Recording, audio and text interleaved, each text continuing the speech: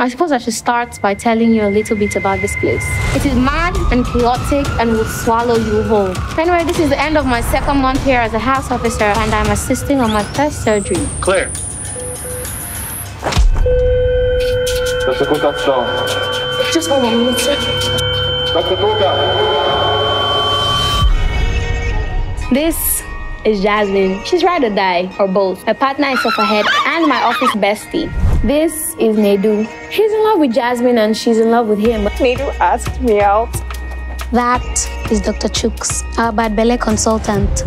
Everything is not fine. Sorry, sir. Sorry for yourself. There are three types of patient. We do not have blood and we will not be able to transfuse you until tomorrow. Do you know who I am? Do you? We know who he is. Does he wear a condom? Condom. So your results say you're pregnant. I- I'm not pregnant in Jesus' name. I want to judge her so bad. The infamous wicked Nigerian nurses. So when did you join here that you're already going to party? Yeah, Sorry. For here, we go harden in our home. You know it's bad for your teeth and general health, right? Nedu, no be you could tell me about health. Nobody you could tell me about. We dey work for the same hospital, bro. Dr. Peju. Peju. Peju. Um, how far that dates now?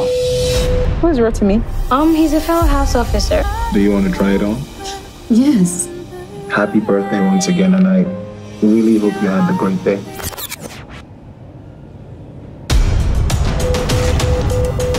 You know me, I'm not a bad person. No, you're not a bad person, but this is a bad thing.